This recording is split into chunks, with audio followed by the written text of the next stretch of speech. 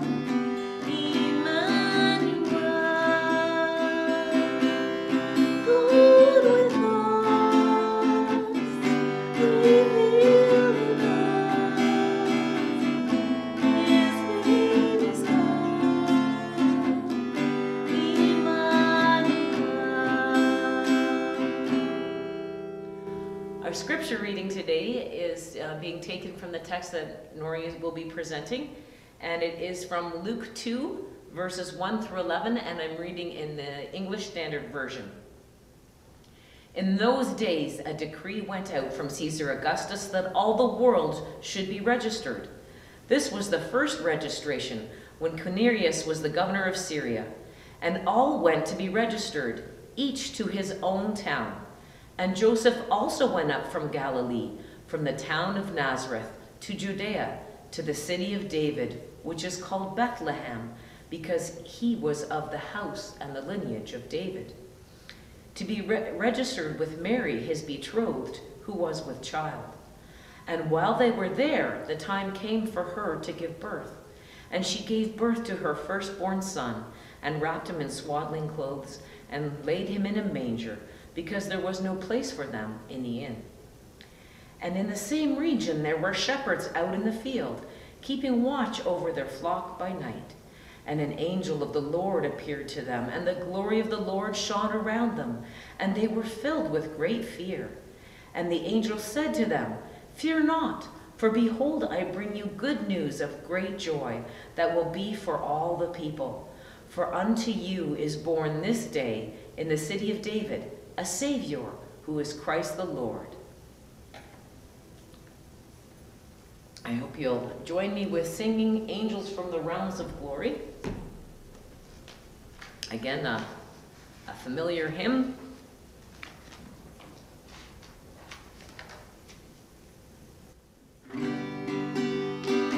Angels from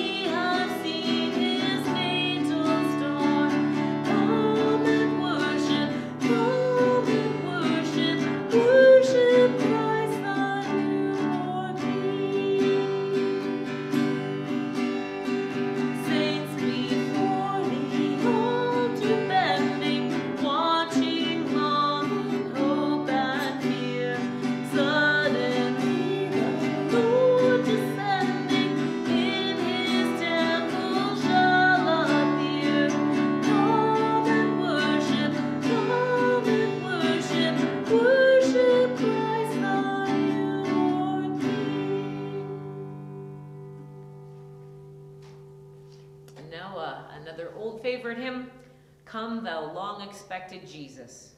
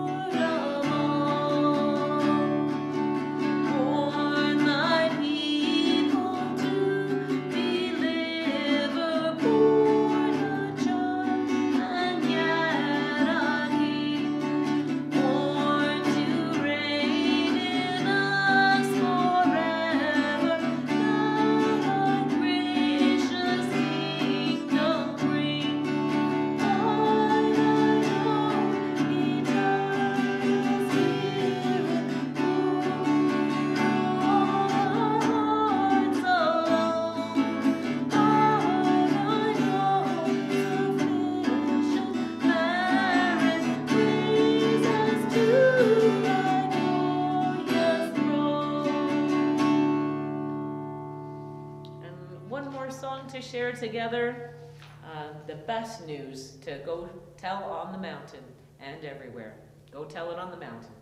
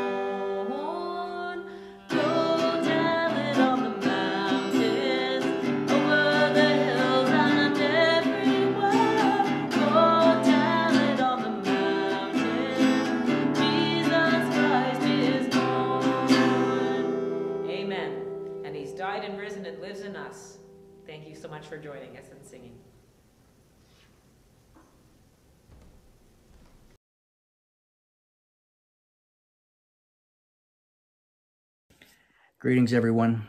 I hope you're doing well today. I hope you've had a meaningful Christmas, that Christmas Eve was meaningful for you and Christmas Day. This video is, this message is coming to you through video uh, today because Vancouver Island, it's like Vancouver Island has had a bucket of water poured over it and then it's frozen and gotten really cold. As you know, there's been multiple accidents and it's very treacherous out there. And so in, con in conversation with the elders, we decided to put this message online and the music and um, and then close the doors to the church uh, so for everyone's safety. And so, but friends, we, our prayer is that as Christmas comes to a close, the Advent season comes to a close officially uh, yesterday or today, this weekend, that this time, it doesn't have to end. We celebrate the birth of Christ all year long, but this time we, we set aside, the Church of Jesus Christ sets aside one month a year so that we just don't we just don't waste our life. We don't go through year after year after year without saying, hey, this birth matters. This birth absolutely changed the world. This birth was prophesied. You go back to the prophecies, big ones in Daniel about the kingdom of God.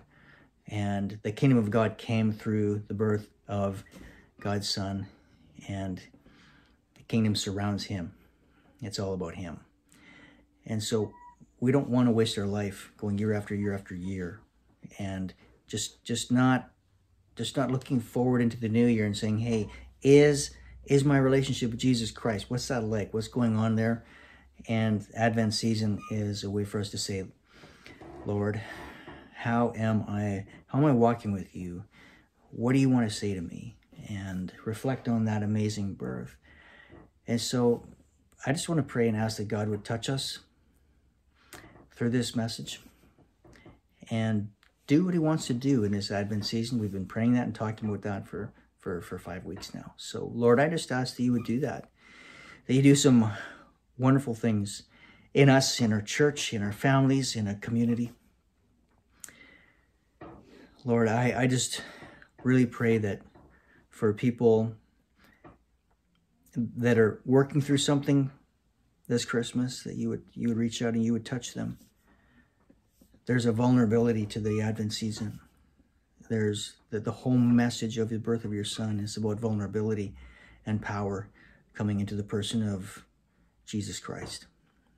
And so we want to stay connected to you as much as we can. We want to walk with you as close as we can. We want you to bear fruit through us. We want to abide in you, Lord. And so we're asking that you touch us. Our hearts are open. If they're not open, make them open. Irresistibly, make them soft. I pray. In Jesus' name, amen. So there's a family that asked for prayer last night as they uh, had had people stranded on the highway, and we, we've been praying for you.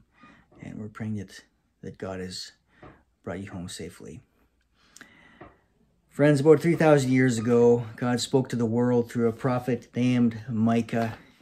And I just want to read. It's a very, very powerful passage, piece of prophecy in, in Micah 5, 1 and 2. God prophesied through Micah about the birth of his son and says this. Let's read just verse 2. But you, Bethlehem of Ephrathah, though you are little among the thousands of Judah, Yet out of you shall come forth to me the one to be ruler in Israel, whose goings forth are from old, from everlasting. I just want to read that again. But you, Bethlehem Ephrathah, though you are little among the thousands of Judah, yet out of you shall come forth to me the one to be ruler in Israel, whose goings are whose goings forth are from of old, from everlasting. Everlasting. The one who is to come forth is one from of old, one who has never had a beginning nor an end, everlasting. And he came to earth, took on human flesh, and he is the light of the world. And we want that light to shine bright in us always in this next year. In this next year of uncertainties, if there's anything that this cluster, this intense cluster of weather patterns in, in the mix of this pandemic has taught us, is that we are heading into a year where there's going to be some storms. And we want the light of the world to shine, radiate brightly through the Church of Jesus Christ through all of these challenges. And we can have peace and we can have rest in our souls and comfort and joy in these times. But I wonder what the people thought when they heard this cryptic prophecy for the first time. I mean, why was Bethlehem so, Bethlehem so special? Have you ever thought about that? I mean, certainly the great King David had been born there, but that was over 300 years before the prophecy that Micah gave. And what kind of ruler could be greater than him? David. I wonder how long they watched with anticipation for this to happen. A year? 10 years? 50 years? Though I could imagine that it had been forgotten or dismissed after a century or so by the majority of people, some still waited expectantly.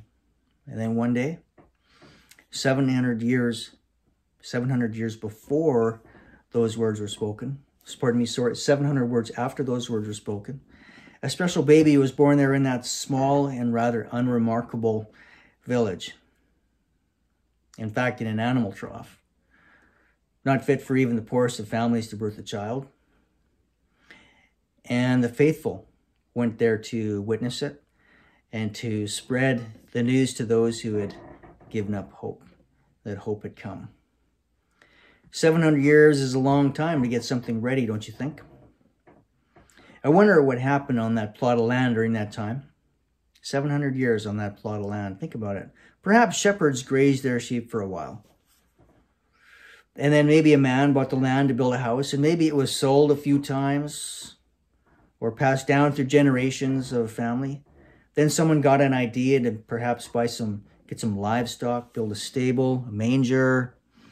Then a governor decided to call for a census made people travel a long ways. People traveled back to their hometowns to register. Many came back to Bethlehem but had no family left there anymore. So they stayed in guest houses, filling up every room in the town. There was no place left for the birth of the king. And then all the many stories converged in just the right timing for Mary and Joseph to arrive and to have their baby exactly where and how he was supposed to be born. So it was no wonder that all who came to see him fell on their faces before him and worshipped him in awe. They were witnessing, friends, the fulfillment of 700 years of preparation. I wonder if in that, I wonder if in that there's a message for us in this next new year, this year that is just before us now. 700 years of preparation and all things converged and came together. 700 years on that land, and eventually there was a stable ready. No room in the inns, stable ready for the birth of the king. You know, we don't have those kind of prophecies to tell us right now. But as we continue on in this season of this pandemic, I wonder if there's something that is being prepared for us in a new way in the life of this church. I wonder if there's something being prepared for us in our lives, in our families during this time, in people that you know this time, right now. Time there's just so many challenges, so much. You just feel like you're getting kind of, you're faced with intense information. You're absorbing some intense information, one after another, one after another it seems like these days. If it's not weather patterns, it's it's more viruses and more restrictions and and then there's there's all the personal stuff that we are dealing with in our own lives and in our families perhaps, in our workplaces, in our own hearts, in our own bodies. Perhaps there's there's health challenges and concerns there. I wonder, I, I just really wonder if we just pulled it all together. We look at how God was so intentional in preparing for the birth of the King, the birth of his son. That I wonder if there's something being prepared for us in a new way in the life of our church during this season that is so full of challenge right now.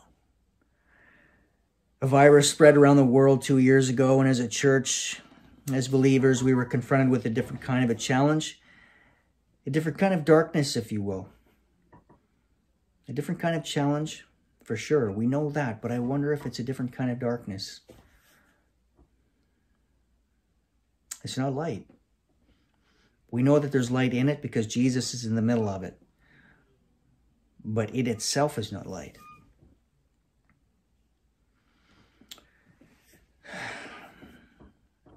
This isn't where we thought we'd be a year ago. And likely it's not where we will be forever in our own lives. When you look at your own life, we know that there's going to be things that will change a year from now. We look at our lives a year ago, there's things that have changed in our lives now, the things that have changed in our church. Have gone through a visioning process where we began two, two and a half years ago, three years ago to develop our, our core values. And out of that came a, a vision statement. And then out of that has come a desire and a conviction to change the name of our, our church, not our theology, not our denominational affiliation, but the name of our church so that we can move into a new whole new chapter where we want to say to our community that we want to hold on to all the things that are important and right and solid, but we want to absolutely love you as much as we can, just the way Jesus would right where you're at. And the name on that church we feel like is an important thing. And so we're moving forward in that. There's been a lot that has happened and a year from now there'll be we won't be in the same place as we are now friends for now though we we watch we wait as the story continues to unfold the story of jesus merged into the story of our own lives as he continues to weave together both unusual situations with unusual connections unusual situations. If we've learned anything these last two years is that we are in a season of unusual situations.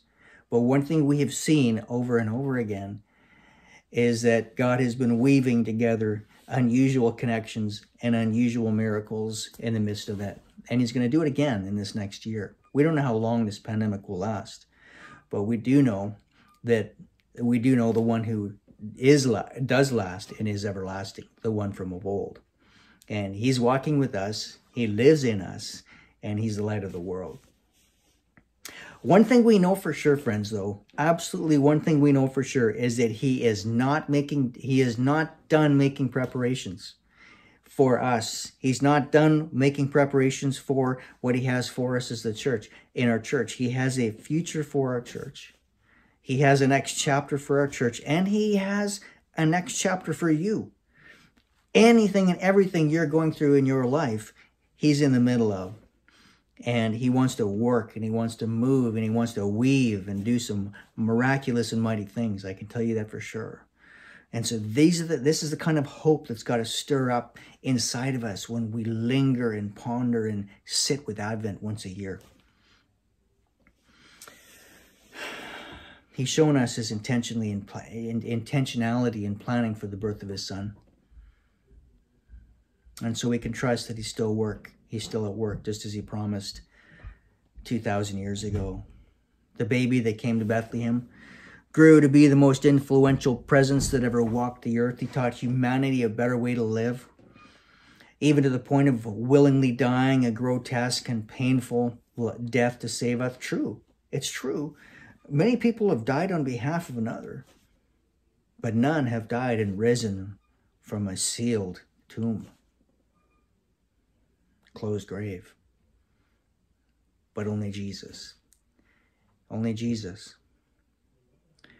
And as I reflect on that band of disciples, that band of brothers that journeyed with Jesus, those were unusual times for them too. I mean, they were they were experiencing one new thing after another with this this this God man. And and then came the the suffering, the death, and the resurrection, and boom, then came the church. And the Holy Spirit moved through the Mediterranean world, the rest of the world, like a grass fire. In the middle of unusual challenges, and in the middle of all of that, God was still weaving together unusual, unusual miracles with unusual challenges. And I believe that that's that's that's I get that sense now as a pastor. I get I get the sense I get is that there's something happening in in our world. God is wanting to do something. So the question is, what is He doing now? I really want to encourage you to grab a journal and grab a piece of paper this next week and ask ask yourself. Just just sit in the quietness of your own heart. And then after you've done that, perhaps grab a friend, grab your spouse, and ask, okay, what's he doing now? What is he doing now? The one who came to save. He knows what's become of us. He knows what we're doing. He's right here with us. He knows what's going on. Friends, he's doing what he, he's promised. He's doing what he's promised. He's preparing a new chapter for us. He's taking care of us in this season of challenge that we're in. That's the hope that we've got to see in this season of Advent. He hasn't gone anywhere. The one who came so humbly, vulnerability merged with power in the person of Jesus Christ. He's still here with us. He's not going anywhere. He'll be with us to the end of the age, Matthew 28, 18 to 20.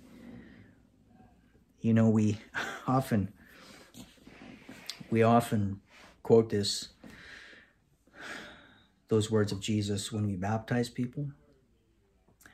We often quote it, almost always quote it when we're questioning people into the terms of their doctrine on baptism, discipleship, spiritual formation. When people come to faith, they grow in their faith. Baptize them in the name of the Father, the Son, and the Holy Spirit. And lo, I am with you always, even to the end of the age. And lo, and behold, I am with you always, even to the end of the age. The one who is vulnerable and powerful, the one of old, the one who is everlasting, the king, the one who brought the kingdom, he is with us all the way to the end of the line, all the way till he returns again. He's with us. So, friends, do not let your hearts be troubled. Jesus said, You believe in God, believe also in me. In my Father's house are many rooms. If it were not so, I would have would I have told you that I'm going to prepare a place for you? And if I go to prepare a place for you, I will come back to take you to be with me, that you also may be where I am. You know the way to the place where I am going, John said, John Jesus said in John 14, 4, 1 to 4. Do you know the place where he went? Thomas, one of his followers, wasn't so sure, so he asked that very question. Thomas said to him, Lord, we don't know where you're going, so how can we know the way? Jesus answered, I am the way, the truth, and the life. No one comes to the Father except through me. John 14, 5 and 6. In this Advent season, friends, we May we have the courage and the faith to believe and to wait. Even during times of mystery, even during times when we just can't see the way forward. May we have the courage and the faith to believe and to wait. He has a good track record. He has a perfect track record of, of, of preparing good things for us. So let's watch. Let's wait in expectation as we keep moving forward with what He knows He wants us to do. I really believe that Advent has got to stir that up, that vision in us, that kind of hope in us of seeing Him here in the present so that we can see Him shine in the future before it even comes. We know He's going to be there. We've got to have faith He's going to be there. There's going to be times in these next 12 months that our hearts are going to flutter. We're going to feel stress. We're going to feel uncertainty about many things. But Jesus has, God the Father has a perfect track record of preparation. It took 700 years. longer than that even, to prepare to send his son, the one, the one from of old, the one who's everlasting. And he's still with us today. And scripture tells us very clearly that he's coming again. But the days leading up to when he comes again are going to become turbulent. And we have said this many times in the last two years that something has happened. Something has happened in that period of time. We're moving into a new dimension of the end times. And it needs to stir up, not in a way of fear, in any way, but in a way of, of hope and courage to begin to look in a new way in these days towards Jesus Christ, the light of the world. And so, friends, the Lord bless you and keep you. The Lord make his face shine on you and be gracious to you. The Lord lift, lift up his countenance on you and give you his peace this week. I pray that with all my heart. Amen.